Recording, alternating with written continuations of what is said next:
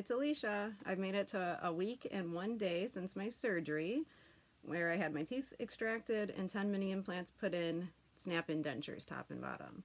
So if you followed my story from the beginning, um, you would know that it's been a little rough and less than ideal. I've been dealing with a very bad fit of these teeth, which has been affecting my opinion on a lot of things and my emotions and the healing process, probably. Um, it's not for lack of trying to get them fixed. I've been to the office two times for them to try to adjust things to make them just fit better. And I go back on Thursday. Today is Tuesday. So after tomorrow, I go back the next day, and that will be the third time I go there to try to have the top taken out. So the last time I went, they were able to get the bottoms out, and I was able to see how that feels, and I assume that's the normal way for it to feel, and that's how the top should feel. I've just been getting a little anxious because um, I can feel that the, the lower one has more movement now that I've been eating a little more and using it more.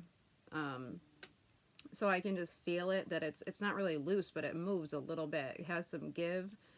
And the top one doesn't. The top one I feel like is just really in there. And uh, I didn't know this. I didn't remember this part of the surgery, but my husband said they brought him into the surgery room as they were still trying to take the teeth on and off of the implants while I was sitting there like getting gassed up in La La Land, apparently. I must have been a little bit in and out of it, even though I thought I was conscious and awake the whole time. But I do remember them bringing him in. I must have just thought it was my lowers. But he said that the nurse was having a very hard time and she was having to really rip them out. Then they'd go do something, try to adjust it, get them back in, have to rip them back out several times, in and out, several times. And it was really hard. He said it looked bad. So that might be why the top was so it's like jammed in there. I almost wonder if it's actually secured in there crookedly because my main complaint at this point, if these are temporary and I'm really going to get new ones made between four to six weeks of healing, then my complaint is just that these need they don't fit right. And I know that you have to be patient with your bite and everything. Um, but I'll show you what I'm talking about specifically. Um, the the lowers, I feel like things look a little more normal when I'm talking. It's when I'm not talking that I notice it and that it's just more obvious. I haven't been able to fully shut my jaw since this surgery. And I'm sure there's things they can adjust to make me be able to shut my jaw. And that's that's my goal on Thursday is that they'll be able to adjust this enough so I can close my mouth like in a natural way. It's yeah. So if I just like shut my mouth without trying to shut my lips, this is what it looks like. And it probably doesn't look too bad to you. But my lips usually used to shut by themselves. So, um, I'll try to show you. It's kind of hard. I think you can tell with the top. It's very uneven. Yeah, you can see. And it's even, I didn't put lipstick on today because I wanted you to be able to see my mouth pretty well and my lips. Um, because this is in there so crooked, it's like affecting my speech and how my lips are looking. You see this? It's like quite uneven. And then the bottom, I've noticed too. Um, seems to be not quite even either. And I feel like when I'm talking, you're seeing the lower the low bottom of those lower teeth. So I really do think if these just get pushed down for now, that that would really help. And then I'll, I mean, I'm, I want to get another set made. If they offer me that option, yes, I do. Because some of the things I'm seeing in here structurally just make me feel like I'm not really sure what they can adjust. Like how much they can bend it and like, this is uneven. So I'm not sure if when they stuck it in there, it got stuck that way and now it's not fully snapped in or if it's just the way it was made. So we'll see. Thursday I have to be able to tolerate them ripping it out. And I guess I'm just worried because I'm just worried it's in there wrong and that they're going to rip it out and like pull an implant out. That's really what I'm worried about. Like I'm trying not to think of the worst possible option. But anyway, it's been one week. As of yesterday, I've been feeling a lot better. It took about that long, a whole week. I mean, like some of what I thought was swelling up here is actually this upper denture being pushed so far up that it's like swelled up up here, but not here. And um, yeah, I don't know. And I used to have somewhat of a crooked smile, so now I don't, which is nice. Like my top lip is going up all the way on both sides where it didn't used to do that. So that would be nice if this gives me a little extra upper lip support. Um, but yeah, I don't know. I'm not going to know until Thursday, but I've been able to like eat somewhat a little more normally. I'm chewing pretty normally, but I'm favoring this side, which then makes the uppers and lowers a little sore because I can't chew very well on this side. There's not enough room, like because it's so uneven. I feel like that's all I keep saying because it's uneven. It's uneven. We know it's uneven. Okay. Um. So physically, though, the pain the pain wasn't always the issue more of like the the swelling was what i was concerned with so i kept trying to take i would keep that under control with ibuprofen. I haven't needed any narcotic pain medication at all after and i don't i mean i'm sure it'd be nice to have if someone you know if you want that but if you're scared of the pain afterwards i'd say it's manageable without. So i alternated tylenol and ibuprofen and today is the first day I've been taking a lot less. I haven't had to keep remembering like on time. I'm feeling a lot better.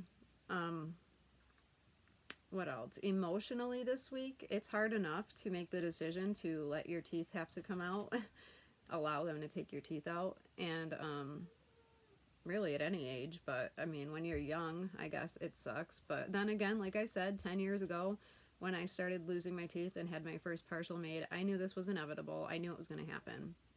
But there's no mentally preparing yourself. You can try to prepare yourself, but until you're sitting there and your teeth are gone, like, I mean, I'm sure it's probably easier to deal with if you really love the teeth that they put in. But for me, I haven't had the oh wow moment yet where I've seen my teeth and my smile and I'm like so in love and crying and like I crave that. I crave being able to come on here and be like, oh my god, look it's amazing.